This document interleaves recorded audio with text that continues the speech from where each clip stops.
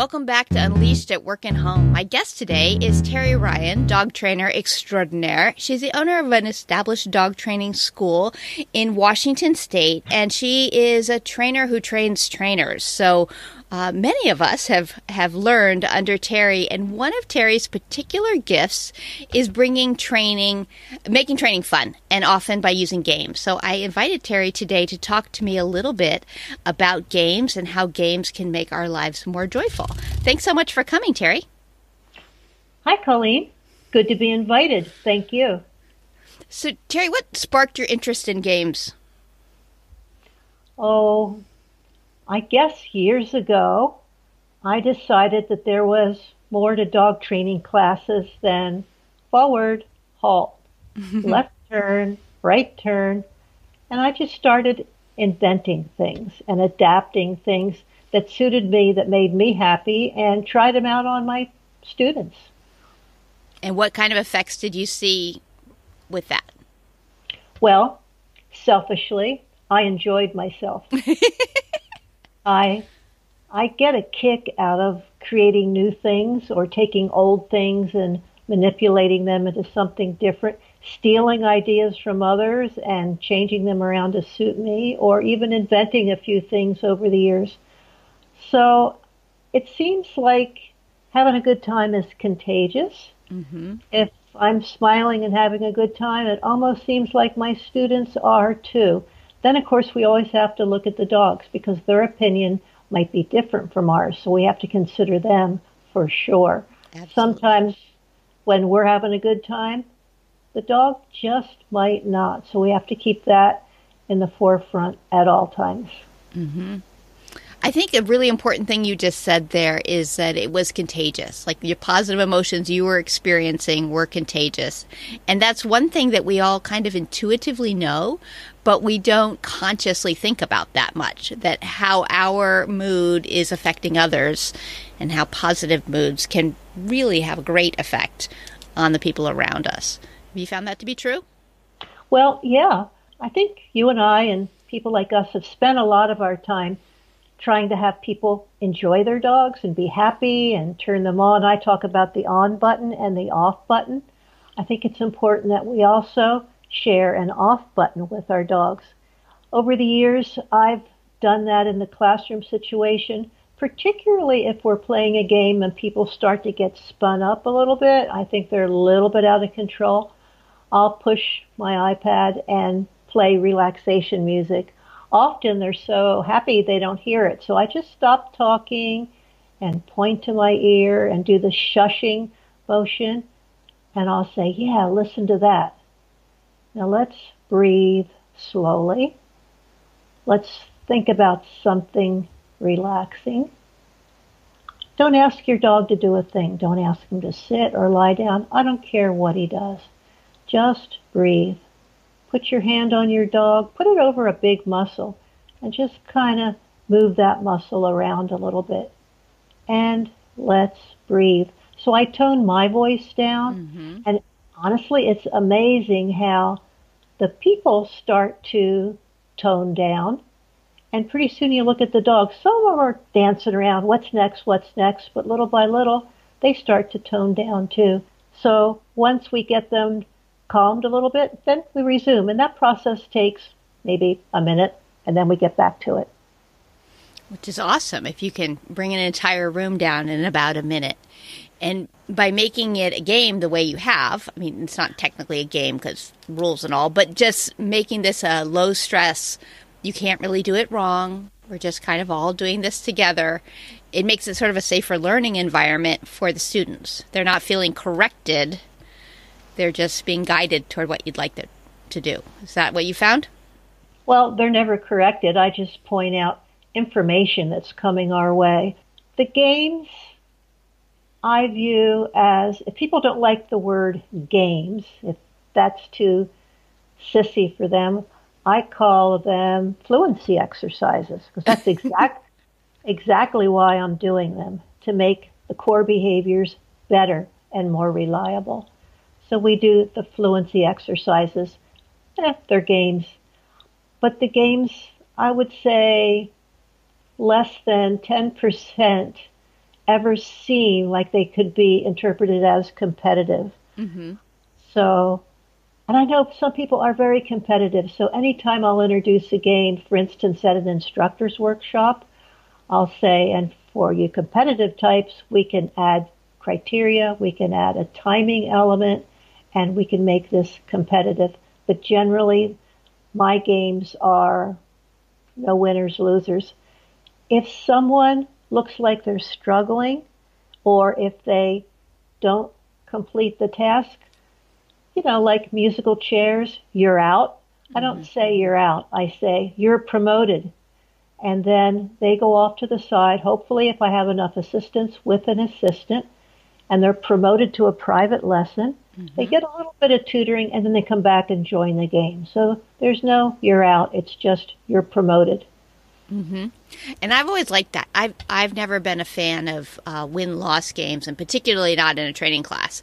And for a game like musical chairs, where if your dog is not as or your team, because it's not always a dog, um, is not as good as the others, and then you're out, you actually get less opportunity to practice, which is crazy because then we're reinforcing the people who've got the stronger skills and letting the ones who are struggling just sort of wallow there in the struggle. So I love that you're promoted and off you go and get a little one-on-one tip yeah. from an assistant and then it's everybody wins and it's still fun and it's low pressure and it it just sparks more joy that way.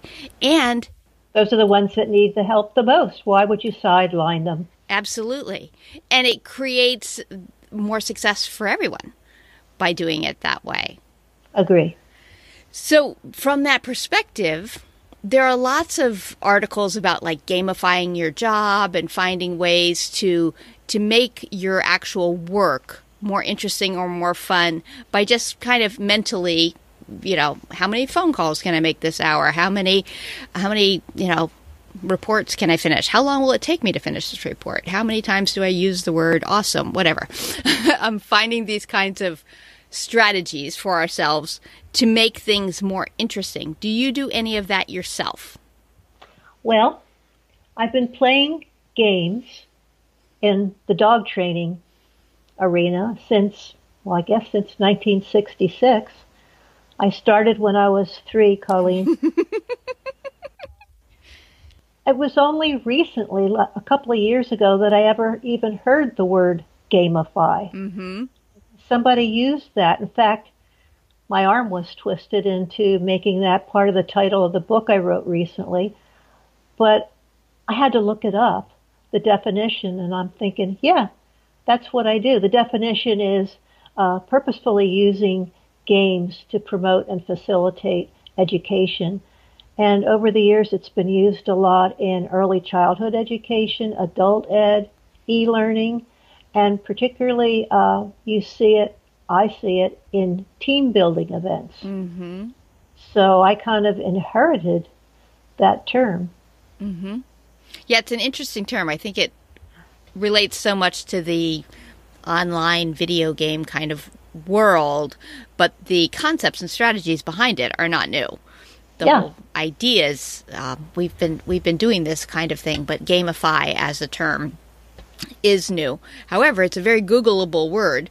So when people do talk about like gamifying your job or how can you find strategies to just make make the job more interesting for you, more fun for you, more successful for you, there's a lot of benefit to that. To looking for the strategies to perk up our fun there. So yeah. what, what kind of what tips would you suggest to somebody who wants to make his or her work life a little bit more fun? Well, I'll have to speak to, as a dog training class instructor, it's not going to be fun for you or the students if it's not working. If they're felt to be put on the spot, if they're not somehow successful. So I think as the game leader or instructor, you need to have a whole quiver of games, lots of games, and don't decide ahead of time, we're going to play this, this, and this. See how the people and dogs are and have some options ready. and be ready to back out of an option and go in a different direction depending on what the dogs and people are telling you. I guess I view instructing in general and game playing, especially teaching by new methods, we might find some cognitive dissonance going on. Uh, people that have trained before under instructors with different methods or instructors that are sticking to their old tried and true method of teaching classes. It's kind of hard if they feel that that's working for them. It's kind of hard for them to want to go in a new direction. Mm-hmm. So we have we have that going on all the time too with the students. Unless they're totally new and naive, they've got some expectations of what might be taking place in a dog class, and what I present might be a little bit of a deviation from that. So I guess the analogy that I would like to use is that of a tour guide. If you go to a foreign country, you're a little apprehensive, you've never been there before, the architecture is different, the food is different, people are behaving somewhat differently. Are you safe? Is it okay? You look to the tour guide. Mm-hmm. The tour guide's job is to make you feel safe, make you feel okay, explain it to you so that it's easily accepted by you and that you want more. So I guess we instructors are simply tour guides into a new and unknown area for mm-hmm. some people. That's a great analogy, the tour guide analogy, because I think that's true in almost any new environment or customer service environment too. Like anytime someone's coming to you for a service, they're on the end of not knowing what to expect and you're on the end of oh yeah yeah we've done this before so that would be true with dog training it would be true with grooming it would be true with vet visits it would be true with boarding and daycare where we have a system we know what to expect and the client is coming in and going you know is it safe here I'm not really sure. Is there someone here who can bridge this gap for me and, and help me yeah. to understand it? And having having a sense of fun with that increases the feelings of safety as long as we do have that success component. And I do like that you specify that because with with not having losers in the games, that's a piece of getting the success component, but also the idea of making sure that we are getting the behavior we want. And for ourselves, sometimes there's a little bit of that too. When we're trying to change a habit and we take off too big of a piece, and we're like, oh, I can't quite reach the goal, and breaking it down a little bit smaller and, and succeeding then makes it more fun, more achievable, more investment with that. I love metaphors and analogies to a fault, I'll admit, almost to the point of being anthropomorphic with some people. I'm sorry, I try not to be. But as far as what you just said, I use the idea of taking a big piece of something and breaking it into smaller, manageable pieces. I use the uh, example of an hourglass. If we had a pebble that represented a piece of knowledge and it was at the top of the hourglass, our learner was at the bottom. No matter how hard we push and shove, it's not going to get through. But if we break it up into little pieces of sand and trickle it in, it's going to work. Mm-hmm. I love that. That's a great one. I always Feel confuse it. myself on which one's the metaphor and which one's the analogy. That one's a metaphor, right? Analogy oh, is the. I think there's a fuzzy line between the two of them. I think that's I, I love that image because you're right that the pebble is stuck there at the at the neck of the hourglass, but it's very simple to get it down as as little grains. Well, if you try to get it down and shove it, you're going to hurt your thumb and you might break the hourglass. Mm-hmm. So I can go on and on with that, but I won't. And we could hurt the learner too, who's standing under the boulder coming down at them. Crash. Good one. I'm going to use that. I'm stealing that one. So, so do you think that games are are natural? Like, is there, do, do you think that animals create games on their own? Because, yeah, let's yeah. that one. Okay, I, over the years, have definitely seen dogs do things that seem to amuse themselves. Mm-hmm. One example that always comes to mind is the dog that goes to the top of the staircase mm-hmm. and drops the ball and then races down and fetches it and brings it back up again. To me, that is the ultimate of how wow dogs are and how wonderful they are wonderful they're able to solve problems. So the short answer to that is yes. What evolutionary benefit do you think there is for us living creatures in creating these games? Well, games are practice for life. Mm-hmm. You know, children play, some children play with dolls because they're practicing to be parents. Some children play firemen because they want to practice defending themselves, hazard avoidance.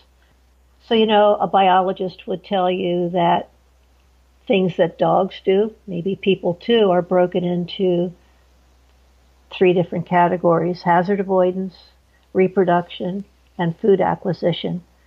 And when I look at dogs playing, I wonder if I were to put this into a black and white category, where would it fall? That's one of my part time habits, pastimes.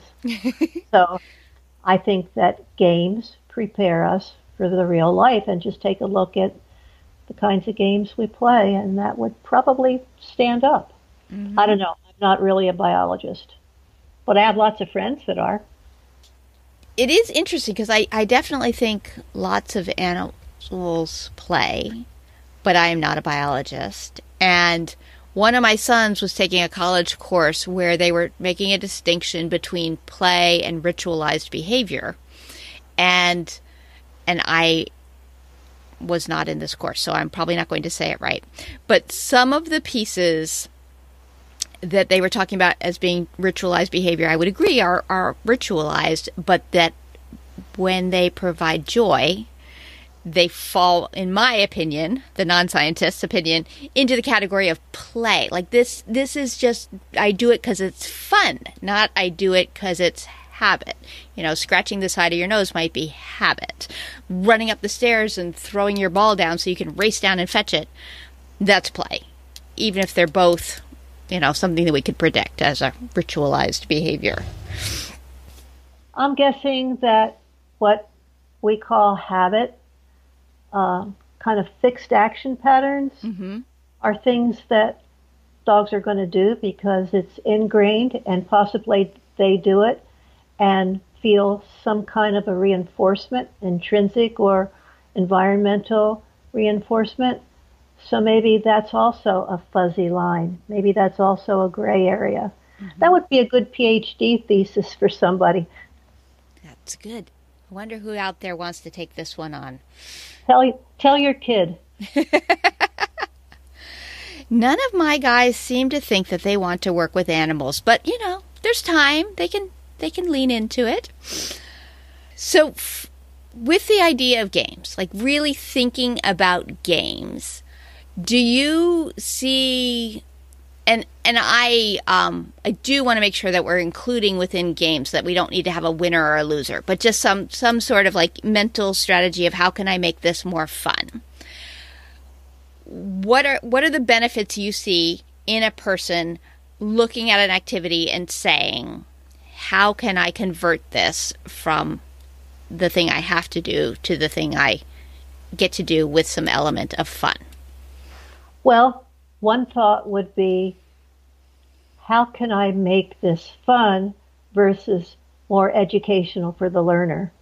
So I think about value added. I have a game, I have a goal. I know what core behavior I want to strengthen with the game we play the game, and then there's a teaching moment invariably that pops up that you weren't anticipating. I call that value added.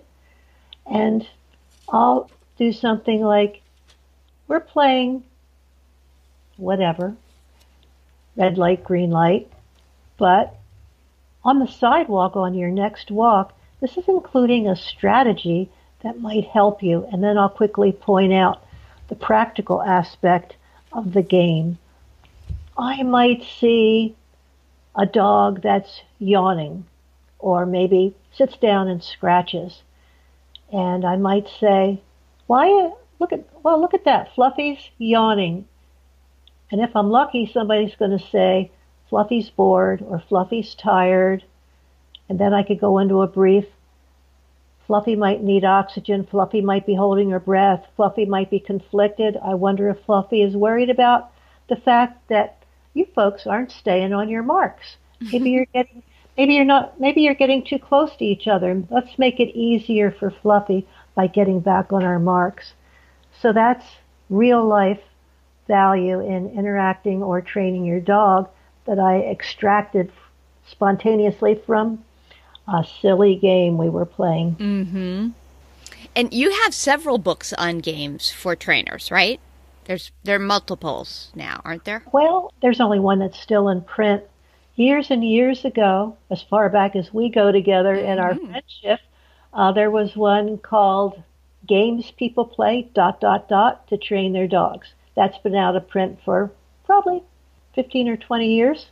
The sequel to that was Life Beyond Block Heeling, and that's been out of print forever too. The one that I wrote last year is a new and improved version. There's about 70 games in it versus 20, and I made an attempt to sneak in the side door. It's actually, if you read it, it's actually an instructor's book masquerading as a how to play games book. Mm-hmm. So that one's been pretty popular recently.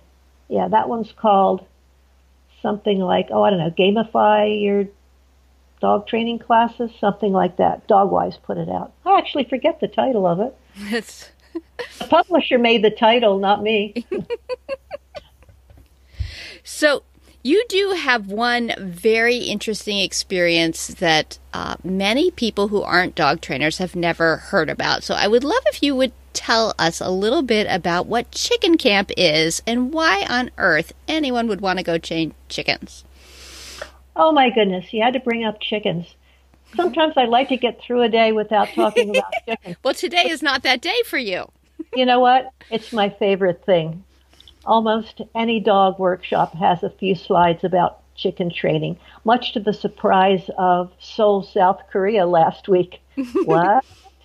All right, chicken training uh, actually started out as rat training many, many years ago.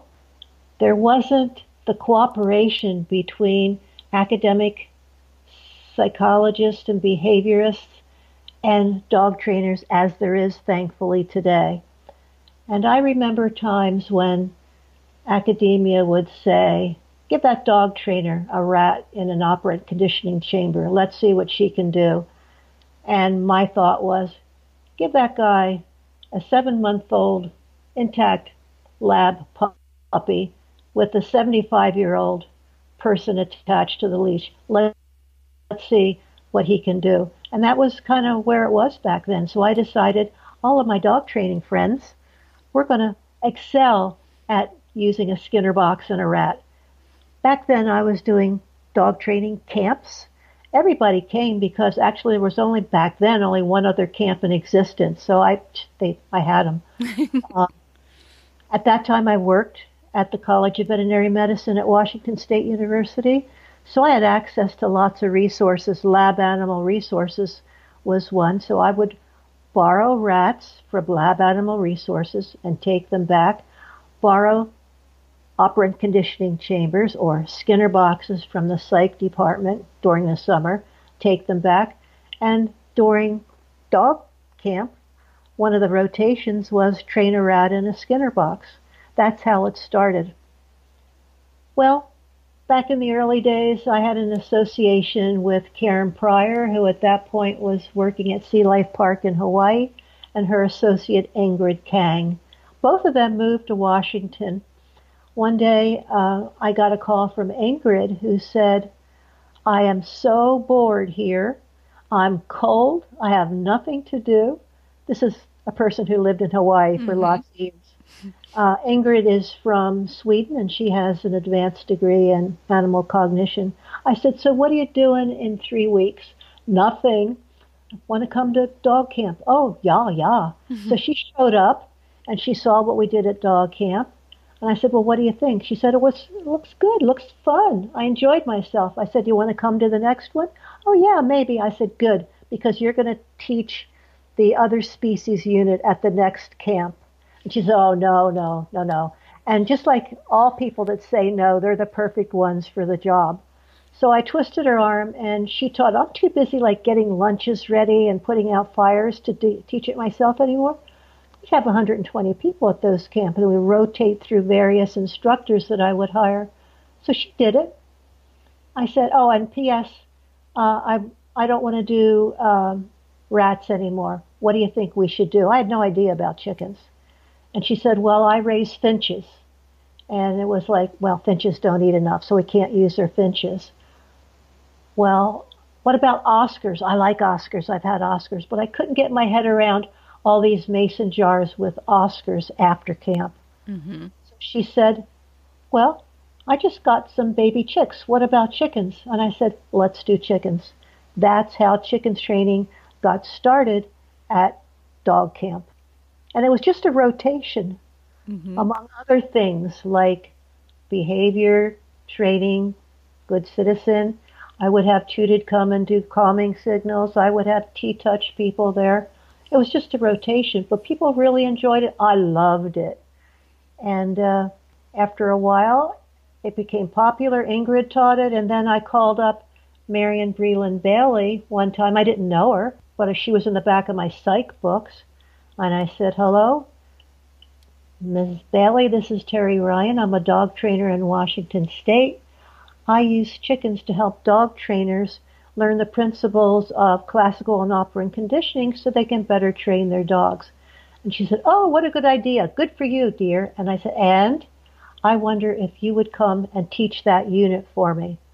Oh, no, no, no, dear. I'm I'm retired, but keep up the good work, really good work. And I kept on and twisted her arm, and finally she agreed to come. And she really put a flair on the chicken unit at dog camp, and uh, brought her husband Bob Bailey along with her. And we've all probably heard of Bob. Marion passed away in 01. Unfortunately, a lot of people haven't heard about Marion as much. I attended the last chicken camp she ran. Lucky for us. Yeah, she yeah. she was awesome. She really loved teaching. It was really interesting. And then I, I went to one of your chicken camps a few years after that. And the funniest thing was when I was heading off to the first chicken camp, I, you know, telling people like I'm going to chicken camp. And my husband had never quite made the connection that I was going to like actually train chickens. Like he, yeah. he was like, he thought, yeah. well, like was just a cute name. And I'm like, no, it's, yeah. it's kind of an interesting experience because you don't realize how much dogs work with you until you're faced with a chicken who's like, you're no either way, got okay. it or don't got it. The chicken doesn't like it. The chicken flies away, and our chickens are on tables without leashes. Mm-hmm. People either get it totally or they don't get it at all and disparage it. But funny thing, my mother-in-law not too many years ago looked me in the eye and said, you mean they pay you to do this? said, yeah. She's of the camp that doesn't get it at all. Yeah. And yet, it's such an amazing learning experience for so many dog trainers. I think that's really cool. I didn't realize that you were the one who got Marion Bailey into it. So that was a new piece for me. Well, actually, Keller and Marion, and afterwards Bob, were using chickens to train trainers for their animal behavior uh, business mm-hmm. before I was born. But those weren't dog people, those right. were animal trainers. So I, I'm the one that saw, I guess, the value of bringing it to the dog people, but they were doing it long before I was even born. Well, we're so grateful you brought it to the dog people because I think it's a, uh, it's a fascinating learning experience, but it's also just such a, a cool, different thing to do. I mean, you learn yeah. a lot, but you doing something different opens your eyes to other ways and other strategies and also points out holes in your knowledge, which kind of, if we go full circle back to our whole concept of games, um, sort of brings that idea of the of the tour guide. You know that you were using the tour guide role there to expand horizons. Well, it's all about lateral thinking. They're all an expression of lateral thinking. Don't do the same thing over and over again, particularly if it's not working. Mm-hmm. Why would you do more of it harder, longer? Step sideways a little bit and see if there's something different that would be helpful. Mm-hmm. And that's probably a great spot to sum it up on. So, thank you so much for talking to me today about behavior and learning and games and how we can all just feel a little bit better in our lives. I really appreciate you making time for Unleashed and all of our friends out there. It was a good excuse to get together. It's been too long. It has been. We will have to make a make a date to get together sooner. Actually, one of my sons is moving to the Seattle area, so that'll have me almost in your neck of the woods. Absolutely. Just hop on the ferry and come on over. Will do. Well, thanks so much, Terry. I'm really glad you could join me today. You're welcome. My pleasure. Bye bye. Unleashed at Work and Home is all about finding practical, sustainable ways to apply positive psychology to improve the lives of veterinarians, veterinary nurses, and other animal care professionals. Protect yourself from burnout and compassion fatigue by listening to the podcast, participating in a workshop, or scheduling private, confidential coaching with me.